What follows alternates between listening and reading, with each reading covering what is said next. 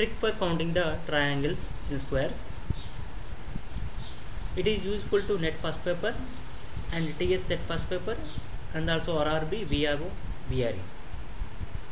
It is very easy trick.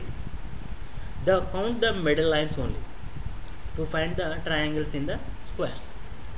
First one see in the see the figure. The midline is only one. One into two equal to two. The lines are one and the triangles are two. You see that the line is one. The triangles are two. So next case, the lines are four. You count the lines at midpoint two, end point. Then one and two and three and four. The lines are four into two equal to eight. The triangles in square equal to eight. Then the total triangles are eight.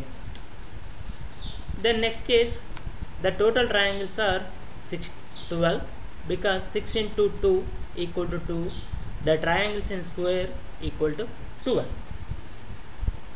the next case the lines are 8 8 into 2 16 the triangles in square is 16 I will change the pattern so combine the two squares. So the value is 18 you see that 1 2 3 4 are the lines in first square. And uh, the joint the line is 5 and 6 7 8 9 the total value is 18 then I will add the another square. Then the lines are 14 into 2 equal to 28 the triangles in square is 28 it is very easy trick. Then I will change the pattern just like it is a horizontal pattern. I will add the vertical square. Then I will add the vertical square. My simplification it is a converted into the 2 cross 2 squares.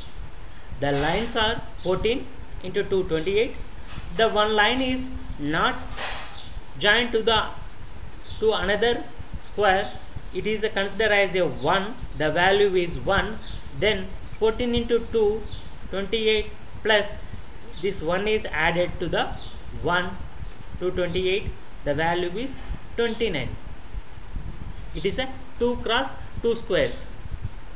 Next case this is a problem in examination pattern but I will simplify that it is a, like a square 3 cross 3 squares. Then the total lines are in the middle lines is total is 19 but the borders 1 2 3 then 1 2 3 these lines are not not to attach to the another squares. So that's why it is counted as a 1 1 1 the total value is this 3 19 into 2 38 plus 3 the total triangles in a square is 41 thank you